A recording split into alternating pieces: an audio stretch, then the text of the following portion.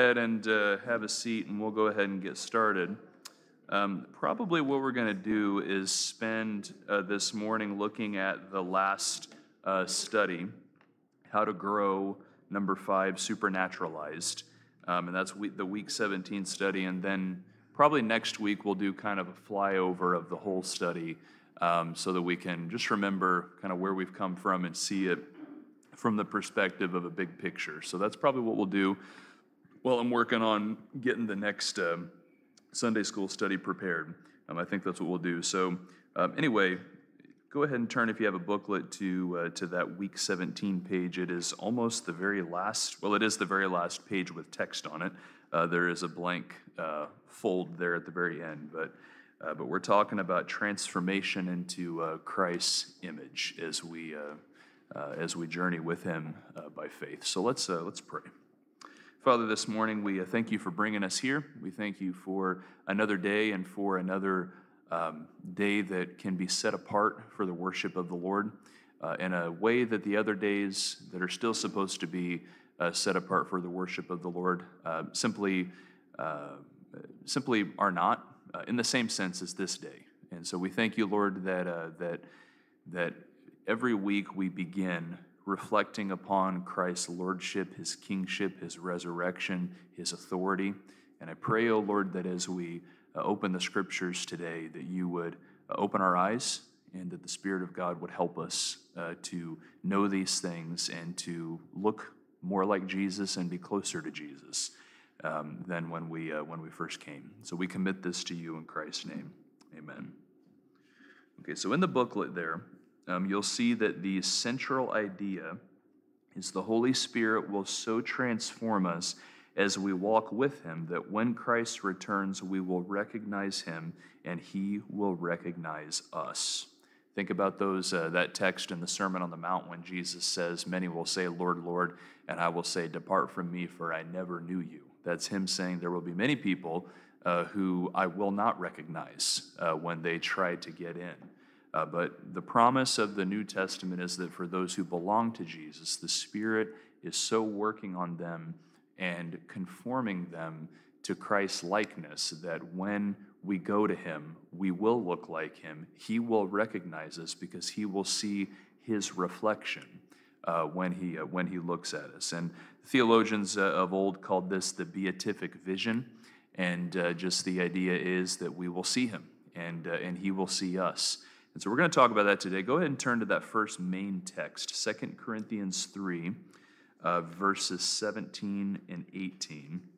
A beautiful chapter here on, um, uh, on transformation. And um, let me read the first two verses. Well, let me read those two verses, verses 17 and 18. Then we'll talk about the verses that immediately precede uh, those. Um, so Paul says, Now the Lord is the Spirit and where the Spirit of the Lord is, there is freedom. And we all, with unveiled face, beholding the glory of the Lord, are being transformed into the same image from one degree of glory to another. For this comes from the Lord, who is the Spirit. Um, now, the context of this idea here, the context of these things that are being uh, spoken and taught, uh, is that the he's been using Moses and, the, and his experience on the mountain, going up, spending time with God, coming back down, and uh, telling the people the word and all of that as a ty- as sort of a typological picture of our walk with God. So Moses, you remember, he goes up on the mountain, he, he spends time with God, he comes down, he's got a veil over his face. Why? Because, because he's been so with the Lord that God's glory has splashed onto him, such that for people to see it, it would absolutely terrify them. Um, and so he puts a veil over his face. Um, but if anybody were to remove the veil, they would see the glory of God effectively, as it were, in the face of Moses. And Paul has been saying that this is sort of a picture of what it means to come to Christ. Look in verses 15 and 16 of that same chapter. Whenever Moses is read, a veil lies over their hearts, but when one turns to the Lord, the veil is removed. So, so effectively, what's happening is just like the veil covers covers Moses' face coming down the mountain so they can't see the same glory that he saw. Um, when a person comes to Christ, they go from there being a veil so that they can't see his glory to trusting in him and seeing the glory of God in the face of Jesus Christ, which is the next thing that he says in the next chapter, uh, in chapter 4, verse 4, when he speaks of the gospel of the glory of Christ, who is the image of God. And then in verse 6, um, the knowledge of the glory of God in the face of Jesus Christ. So when a person comes to Christ, the veil is removed and they come to the place where they see that all of divinity, all of godhood is seen in the face of Jesus. He's the radiance of the glory of God, Hebrews says, the exact imprint of his nature. What did he tell his disciples in John 14? If you've seen me, you've seen the Father. If you want to know who the Father is, look at me. I perfectly radiate his glory uh, and his presence to you. And so, and so when we come to Christ, as verses 17 and 18 say there, um, there's freedom. There's freedom there in uh, verse 17. Jesus spoke about this freedom. Um, Galatians unpacks this freedom. Um, the idea being that whereas we're enslaved to sinful desires and fleshly ideas and things like that, we're set free from those things when we come to Christ to be the people who we are made to be uh, in fellowship uh, with God. There's freedom, and the freedom is to the end of transformation. Verse 18. With unveiled face, beholding the glory of the Lord, we are being transformed into the same image from one degree of glory uh, to another. So we are transformed um, into this image that we behold whereas Christ is the face of God, as it were. Um, again, as Hebrews says, he's the radiance of the glory of God. Um, the, the Greek word there, if I remember correctly, is the word icon. He's the icon of the glory of God. As we behold God's glory in his face, the Spirit of God is causing us to actually be transformed into that image. We're being divinized, as it were. That's probably not the right way to right way to pronounce it, but in one sense, we are uh, we are becoming God-like, uh, not in the sense that we become divine ourselves, like the same way that God is, uh, but in the same same sense that Moses he could be transformed going up on the mountain, spending time with God. Now that we are in fellowship with God through His Son, that glory that splashed onto Moses splashes onto us, such that we are we are looking like him as the days go by. This might be hard to see if you look at yourself, because most of the time when we think about ourselves and our, our own growth and all of that, um, the enemy's voice is pretty strong in our ears. You've not really grown like you think that you have. Um, you've not made any progress. This is all a sham. This is all a lie. Um, and that's why we have to, as Lloyd Jones said, we have to talk to ourselves more than we're listening to ourselves. We've got to preach the truth to ourselves. The truth is that I am being transformed into the image of Christ. I am um, taking the glory that belongs to Him into myself and onto myself. Um, I'm enjoying fellowship with God the Father the same way that Christ does. Um, this, is, this is why Jesus could spend his whole night in prayer. Uh, from time to time, he would spend all this time in prayer to his Father because he just loved spending time with his Father and in the same way, you do as well. You enjoy God, you find Him to be a delight. Um, he's not a burden to you, but He is. Uh, he, he's, your, he's your only friend who you worship. Hopefully, you have a lot of friends, but you don't have any other friends like him who's worthy of worship. But indeed, as you worship him, you enjoy fellowship with him. You love being a friend of God and being able to call him your friend as well. That is because Christ is in you uh, through his Spirit. So, Spirit works on us over time and through trial and all the means of grace uh, for, tr- for true, I should say, transformation.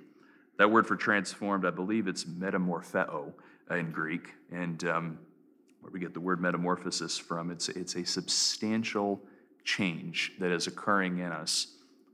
Not, not from something that we are not to something that we become any more than, say, some kind of plant or something like that undergoes a metamorphosis where it, it, it changes substantially, but but again, not in a way that it becomes something it's not, but that it becomes something that it's supposed to be. You and I, in a similar way, we become the people that God made us to be. We're brought into fellowship with Him. And, um, and this happens through the Lord who is the Spirit. So, thoughts on this before we look at 1 John 3. Um, just thinking again about how the goal of salvation is transformation. And the goal of transformation is coming into God's presence fully one day. That's the journey that we're on right now. Any thoughts on these matters, Mr. Orr?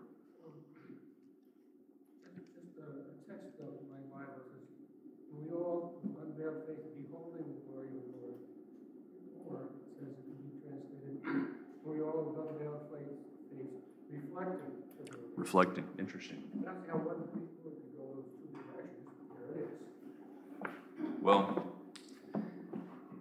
I guess probably uh, a theologically sound answer, I think, uh, would be that it's not necessarily one or the other, right?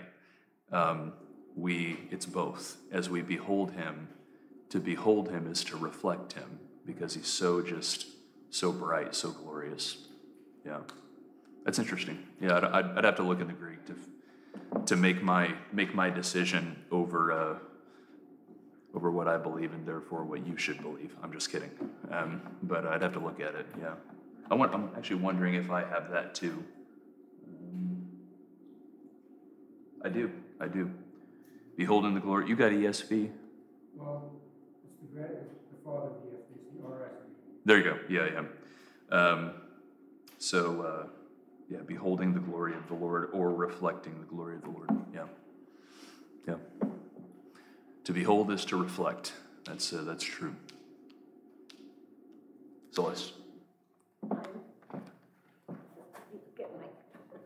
Together. Um, I am closer to the Lord than when I was growing up. I'm getting more meaning from the Bible and from the Lord. So I can witness to people at Liberty Towers. Amen. Praise God. Um, you know, it's an interesting thing because as evangelical Christians, we are um, we're Bible people. You know, uh, as not only evangelical Christians but Baptist ones. Uh, we are we really try to be Bible people. We really want to always have the scriptures open. And sometimes uh, what it can sound like, and, and if we're not careful, maybe this can be the case, we can be so centered on the Bible that we forget the purpose of the Bible. The purpose of the Bible is to be the means through which God communicates with us and the means through which we know Him. Um, I don't think that there will be any Bibles in heaven. There won't be, because there won't be a need for it, because we will just be with the Lord fully, and uh, we won't need his communication through this means anymore. But for now, how thankful we should be that we have his word in written form given to us, protected from all the translation um, corruptions and inaccuracies over the centuries. You know, that used to bother me a lot in my early 20s until eventually I got to the place where I said, you know, if God's if God is God, he has the ability to protect his word and give it to me 2,000 years after it was finished. I can trust what I'm reading here um, because, because it is used for a purpose, and that is fellowship, uh, enjoyment of, uh, of the Lord, hearing from him, and uh, even more. Go ahead, Bob. I just looked at the uh, New King James, that translates it, the unveiled, unveiled face, behold it as in a mirror. As in a mirror, interesting. Yeah. Interesting, as in a mirror. Yep, go ahead, Peter. Uh, so the uh, New American Standard says the same thing. As in a mirror? Yeah. Yeah, yeah. And also the uh, 1901 American Standard Version says the same thing. I'm going to look, uh, See, this is another reason why I should have my Greek New Testament with me while we're doing Sunday school. This this has happened multiple times where I've been like, oh, I wish I had that with me. Um, and yet I still, still am not, not learning my lesson here. Excuse me. Sorry about that. Especially sorry to those who were, uh, who were listening online. Um, what verse are we looking at here? Verse 18. 18. Haven't been uncovered. Well, that's interesting. That's interesting. So, um, so what you have is you have uncovered face, so unveiled face, the glory of the Lord mirroring um, from one degree of glory to another. So I think that the reason why those translations use um, the phrase there uh, as in a mirror is because the actual translation, or the, the word uh, katoptrizomenoi, um, that's a lot of syllables, actually means mirroring, so that's why they do that. But um, ESV, with unveiled faces, beholding the glory of the Lord. Yeah, I don't know. I could see it going either way, actually. But that is funny, as in a mirror, isn't it? It's like um, you think about looking at yourself in the mirror, and uh, you know, depending on how early it is in the morning, how how much of a horror that can be. Um, and uh, but you're, you know, but there's no hindrances. You see, you're looking right at yourself, and in one sense, this is this is what this fellowship is that the Lord's describing uh, for us here. That we are face to face uh, with the Lord, with unveiled face, as it were. Peter. Then we also have the uh, original King James says, uh, but we all with open face beholding as in a glass the glory of the Lord. Mm-hmm. So As in a glass, yeah, yeah, So that's encouraging that we see ourselves, we also see Christ. yeah. That's right. And, and if we're, as the years go by, if we look and we keep looking, I think the hope is that we see Christ more uh, in ourselves. Of course, again, because we're going to constantly be hearing the enemy's accusations, um, sometimes it's hard to hear or it's hard to see uh, Christ. But, but if we really take inventory of where we were uh, and where we've come and the trajectory of where we're going, we can see. We can see Christ in us. Go ahead. Go ahead, Jeff. Uh, Is it accurate to say that the word glory there is pertaining to the child of God, right? So Mm, I find it interesting, and it's been, to your point, a little bit of a stumbling block because of the way we typically view ourselves. That's right. I think the text is saying that presently, no matter where you are on the timeline as a Christian, there is an element of glory to the believer. And glory is the outshining of the character of God. That's So, right. You know, we're, going from one stage of glory to ultimately another, you know, that is perfected. But uh, it's a pretty amazing thought. Yeah. Even as we sit here, you know, struggling with our sins and uh, all the rest, um, God makes a pronouncement Yeah. that there is a glory that shines from every. That's right. That's exactly right. Um, I think you're right. Uh, I would say this: as we come into fellowship with uh, with the Triune God, the glory is indeed, as you said, a glory that comes from Him, but it does begin to apply to us.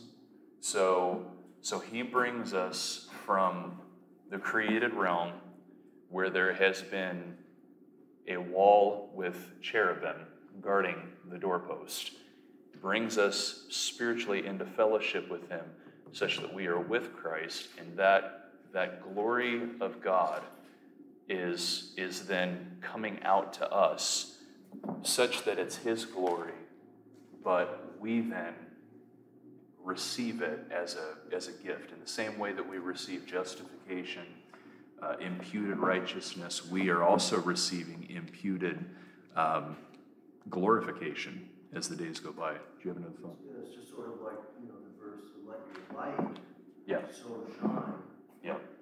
before men that they may see your good works and glorify your Father in heaven. So the light that emerges from us is ultimately God's glory. Yeah. It just reflects back. That's exactly right. Yeah.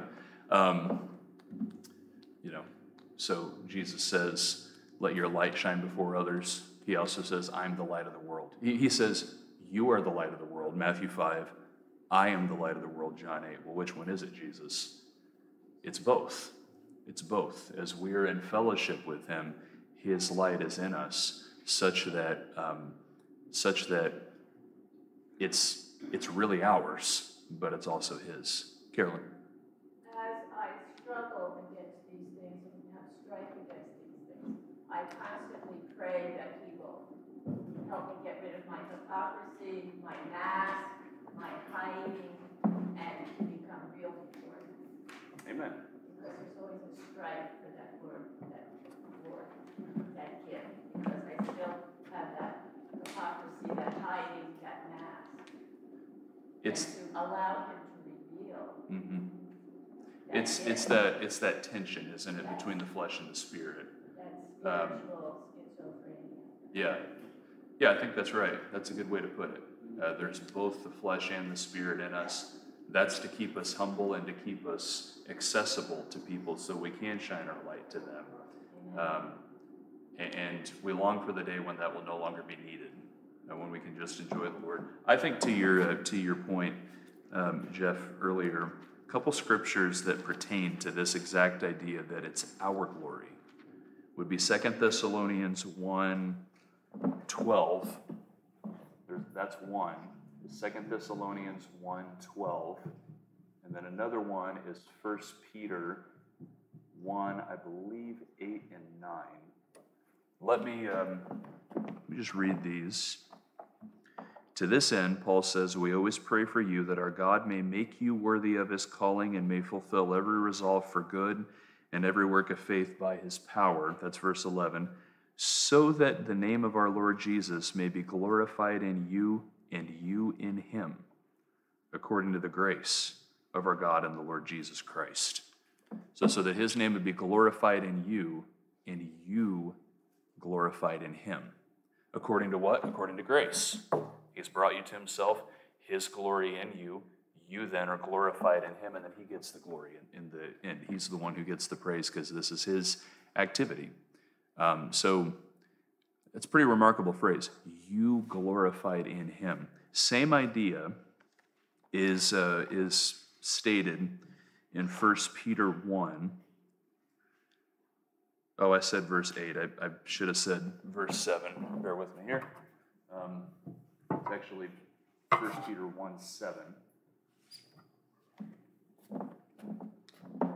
Where Peter says, speaking about the trials, the necessary trials that we uh, endure, so that the tested genuineness of your faith, more precious than gold that perishes though tested by fire, may be found to result in praise and glory and honor at the revelation of Jesus Christ. Um, now, you know, it, it would certainly seem like Peter's point is that this is a praise, glory, and honor that we receive at the end. It's the same as our Lord, or as the Master telling the good steward of the five talents and the two talents, Well done, good and faithful servant. That's the glorification. Um, same kind of thing going on here. Um, as we endure the trial, as we go through all kinds of testings, it will in the end result in praise, glory, and honor uh, when our Lord returns. So, so this idea of, of glorification, um, us receiving glory that is actually God's, um, but we are so in Him and so close to Him and so in fellowship with Him and like Him um, in many ways, like Him, that we can receive glory with Him too. Um, it's just, it, it, I got to be honest with you. Such thoughts are too high. I cannot attain to them. Like David says in the psalm, I can't, I, I just, maybe in 15, 20 years, maybe I'll be able to talk about it a little bit better. Uh, but I'm just not there right now. It's hard for me to kind of get my mind uh, around it. Um, but I'm being transformed, so maybe maybe later on. Let's turn to 1 John 3. 1 John 3, verses 2 and 3. And thus we see here the same message preached by different apostles. Because indeed, they have the same Lord who is empowering the same gospel witness through them. 1 John 3, verses 2 and 3. Beloved, John says, we are God's children now, and what we will be has not yet appeared, but we know that when he appears, we shall be like him, because we shall see him as he is. So I love what it says. Even though we, oh, let me read verse 3 as well. And everyone who thus hopes in him purifies himself as he is pure. So, um, while we're talking about what will happen, John starts in verse 2 by reminding us of what has happened. We are God's children now. That's good to know. I might not be all the way to the place of, of um, Christ likeness that I, sh- you know, that I will be one day, and I might still have a ways to go. Um, I might be, as it were, uh, only halfway up the ladder uh, now.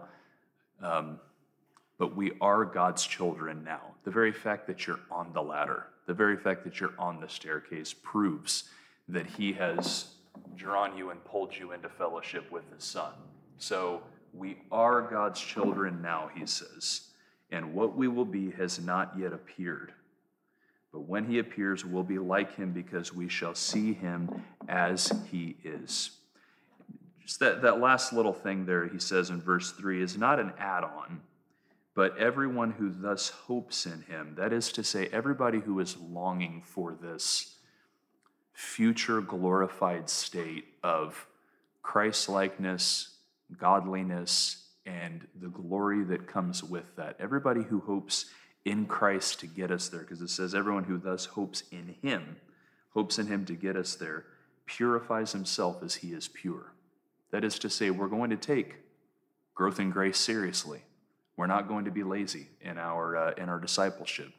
We really, we really want this. Because we trust in Him, we want to get closer to Him and, and be more firmly rooted uh, in Him.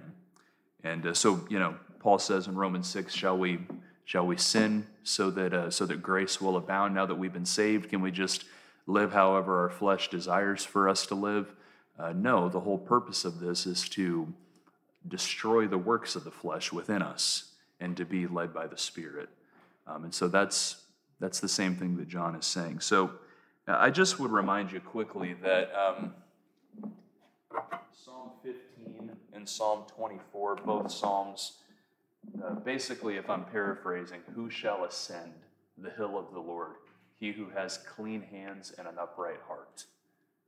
That is to say, you've got to be prepared to come into God's presence. Uh, it's picking up the, uh, the language of the, the, high priest who had to go through this, this incredible cleansing process before he could go um, into the holy place.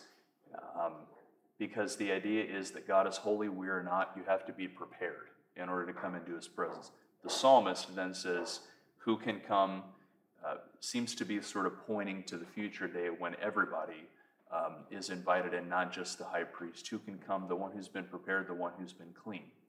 That's why the, the ascent of Jesus to, uh, to the Father's right hand is so significant because the idea is that there is somebody who truly has clean hands and an upright heart, uh, who has been invited fully into God's uh, heavenly temple. But he says that he's going to come and take us to himself. So it must be the case that the whole goal here is that we would have clean hands and an upright heart to be able to come into God's presence. Positionally, we already have it. Positionally, we are clean in Christ. We're clothed in his robe of righteousness. But he's working out this practically so that, uh, so that, so that we will not only appeal to our positional uh, righteousness, but so that we will be, we will have grown in righteousness and truly have clean hands and an upright heart. I guess what I'm trying to say is that, um, let's see, did I already use this side? No, I didn't. Um, uh, the door into fellowship with God in heaven is a door, there's a doorknob that has a halo over it. And um, the only way that a person can get to God is if they travel through this door of holiness. So, what does Jesus do? Christ puts himself in the doorway, becomes indeed the door himself, so that people like us, trying to think of a way that I can make us look um, sort of, I, I, don't know, more like, uh, more like lazy, sinful people, but when you're drawing stick figures, you're pretty limited in what you can draw. I don't want to make us like overweight or something like that. That's just, it wouldn't be a stick figure anymore. Um, but, uh, but the only way that we can get there is if we come through this door of holiness. So Jesus is the door so that he can then take us into the presence of God. Um, whoops, excuse me. Psalm 15, Psalm 24. So that God's holiness is always the standard. That never changes, and we're being prepared for that. We're being made ready uh, for them. Only the clean can come, and um, the fact that we have the Spirit of God proves that Jesus has cleansed us and brought the Spirit into our lives. And what does the New Testament say? That the Spirit is the guarantee of our inheritance until we acquire possession of it. The Spirit within us is the guarantee uh, that we will, we will make it. We will go there one day. Um, thoughts on these things? I know we've, uh, we've gone pretty deep here on um, this idea of being supernaturalized, but any thoughts on these things? Jeff?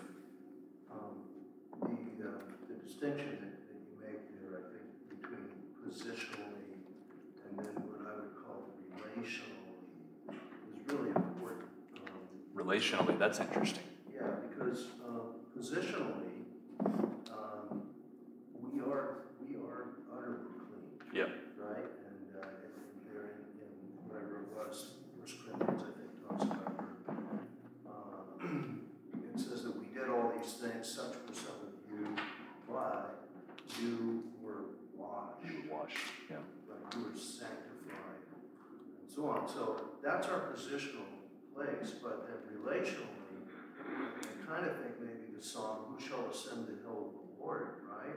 So I think we know that to the extent that we're walking with God and really living um, for Him, that we will experience that wonderful blessing of being in the presence of God. Yeah. There positionally, but relationally, Yeah. is, is a little bit of a different story Mm. that we have to work on every day. Yeah. That verse in First Peter, um, if necessary, you've been grieved by various trials, if necessary. The thought is that if you became a Christian, you came to faith, and if you were to die that day, um, no opportunity for sanctification. It's fine. Christ has already cleansed the person. Um, but if you didn't, if you ended up having 50 or 60 more years on earth before glory after you came to Christ, um, it must be God's will that you go through this kind of this relational cleansing, growth in grace, sanctification, all of that. And um, that must be why the Lord has chosen to keep you on earth for this time, is to prepare you. Uh, so, absolutely. I don't know, I guess that's from uh, Psalm twenty-four there. The quote is, uh, Jeff said, uh, "Who may ascend to the hill of the Lord, Mm-hmm. but he was a clean heart and clean hands." And then you would find God calling Moses to come up to him on top of Mount Sinai, which is, you know, the wilderness, the mountain of God. Yeah. And that uh, Moses was to meet with God, behold his glory. Yeah. And Moses in himself was a sinner. That's- Yeah. That's the, that's the catch right there. Yeah. Um, that's why he'd go and the glory would be on his face, but over time it would go away. You know, um, so as we behold the glory of God in the face of Jesus Christ, it's a glory that's not going away um, because the work is complete in Christ, even if the work in us is not complete yet. Um, let's let's move on here because I'm running out of time. But the, but go to the second supporting idea. Second supporting idea. Uh, so we spent 40 minutes on the first supporting idea. Uh, the second supporting idea, the Holy Spirit's work is transformation, which is part of the advantage of Him being with us instead of Jesus' physical presence. Um, you know, this is what He said in John 15. Um, again, another another misquote. It's not John 15, 7 and 8. It's um, let me find it here. Bear with me here. It's in John 15, I'm pretty sure. Um, maybe it's in John 14, actually. Yeah, sorry about this. Well, wherever it is, uh, most of us have some degree of familiarity with it.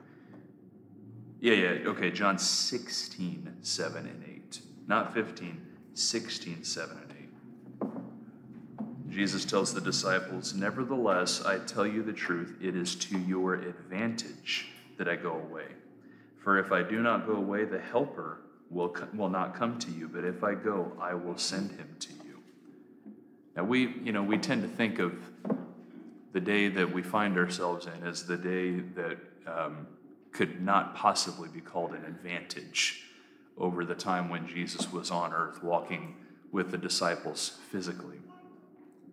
Um, but maybe that's because we've misunderstood Christ's redemptive work.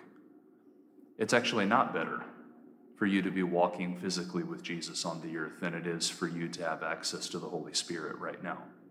To your advantage that I go away. Why? Because when Jesus is with the disciples, um, they are not beholding his glorified state in a transformative way. Look all through their lives, they're just, they're messing up all over the place. Peter's denying knowing him, he's getting in front of him, and Jesus is calling him Satan, all of that. But the Holy Spirit comes and he makes such a substantial difference in their lives, such that Peter can go from the, um, you know, stuttering buffoon, basically, uh, with foot and mouth syndrome, to the great, powerful Pentecost preacher. How's that for alliteration? Powerful Pentecost preacher. Uh, Peter, the powerful Pentecost preacher. Um, it was the Holy Spirit who made the difference. The Holy Spirit's poured out. Jesus says, It is to your advantage that I go away. And part of that advantage is, is exactly this that He takes Christ's image and begins applying it to us internally. Before, it wasn't happening this way. Now it happens this way. It's happening internally for us. That's why Jesus said earlier in John 14, 17, the Spirit of truth, he spoke of him and said, The Spirit whom the world cannot receive because it neither sees him nor knows him. You know him, for he dwells with you and will be in you. So the Spirit who has been with you, Jesus says, in my presence, uh, we know that's what Luke uh, tells us about Isaiah, about quoting Isaiah that uh, that the Spirit of the Lord was upon the Messiah as he came into the world. Uh, and in his preaching, uh, my words are spirit and life. The Spirit's been with you, but he will be in you. That's far, far greater than the Spirit simply being with you. And again, maybe I can't do justice to explaining uh, this phenomenon. I just think that we, uh, we've misunderstood something if we think, boy, it would be better if I could be with the disciples walking with Jesus on earth 2,000 years ago. Jesus says, It is an advantage to you that I leave and send the Spirit to you. It's better because then He can take everything that's good about me and He can begin to plant it in you in a way that, in a way that it wasn't possible uh, before. So it's to your advantage, Jesus says. Um, Next supporting idea when Jesus returns, we'll not only see him, we've already talked about this, but we'll see him as he is, 1 John 3 2. That can only mean that in some sense we will have been made ready to see the God who no one can see. Uh, 1 Timothy 6 16, no one can see God, no one has seen God. But he tells us that we're going to. Um, I would say that anybody who's ever beheld the glory of the Lord throughout redemptive history has done so. Um, it's been through a mediated um, knowledge of the glory of God. Jacob wrestled with the God man that one night. Isaiah in Isaiah 6 saw his glory, uh, it says, and spoke of him. And uh, that's what John says about Isaiah in John 12. He says that he saw Christ's glory and spoke of him. It's been a mediated um, knowledge of God's glory. There's coming a day when, whereas in one sense it will always be a mediated knowledge of God's glory, such that we are always going to worship God and the Lamb. We're always going to remember the redeeming work of the Lamb. Nevertheless, we are going to behold him. We will see him as he is. And that's just a remarkable thing because as he is now, he's his eyes are blazing with fire. You know, he's he's this hero through the book of Revelation. He seems glorious. It's using imagery that is a gracious condescension to us. We will see him as he is. Um, John tells us. And um, I just, I can't, honestly, like, I can't imagine.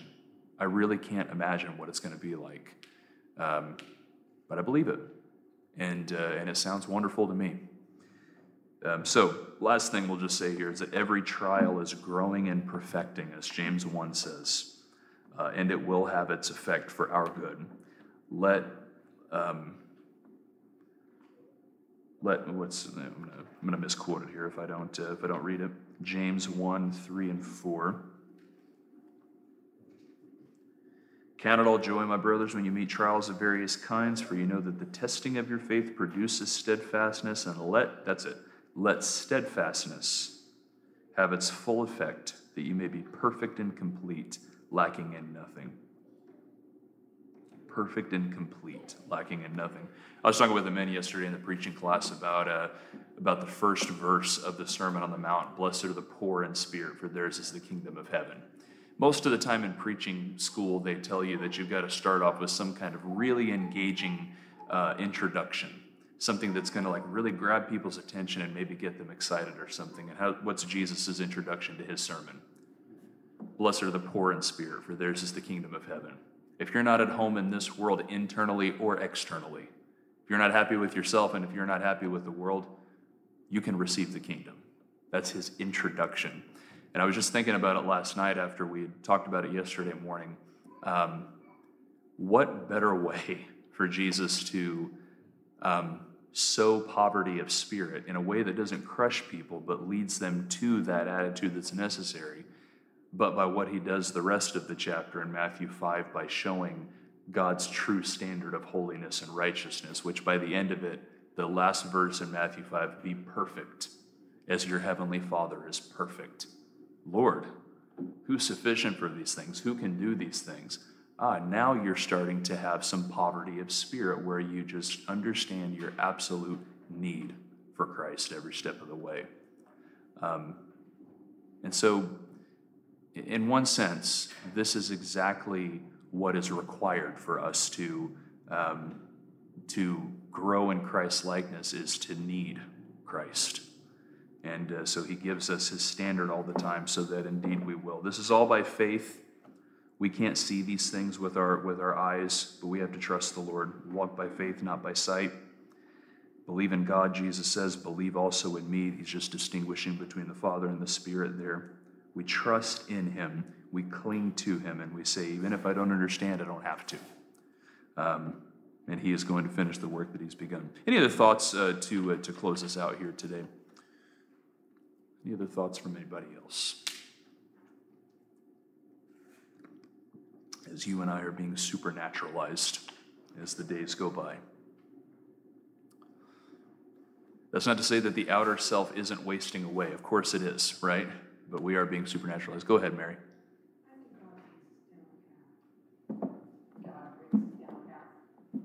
sometimes we recognize it, sometimes we don't. Sometimes he take a hammer to us. Yes, Yeah. and say, okay, hey, listen to me. Yeah. you And you do. Um, and, you know, you made this, um, very simple, which is good. Mhm. I can understand it, but you're always on a journey. Yeah. And like you said, the longer you go, the more you realize, everything is not on your, it's not with, you're not gonna change it. Mm. You're going down just because God wants you to do it. Yeah. And I can see why God would want to come back. This time of the world, Hmm. I wouldn't want him back either. I'd be afraid, That's interesting. Yeah. because I would rather have the Holy Spirit with me than have somebody crucify me. hmm Well, they they won't. They won't. He's glor- He's uh, he's glorious. He's gonna he's gonna come back to win, right? he's already won. Yeah. But I, I think your point, Mary, is it's it's really well taken. There's um, when you were talking about going down the path, all I could think about is when I have to get someplace in the car and I put it on the GPS.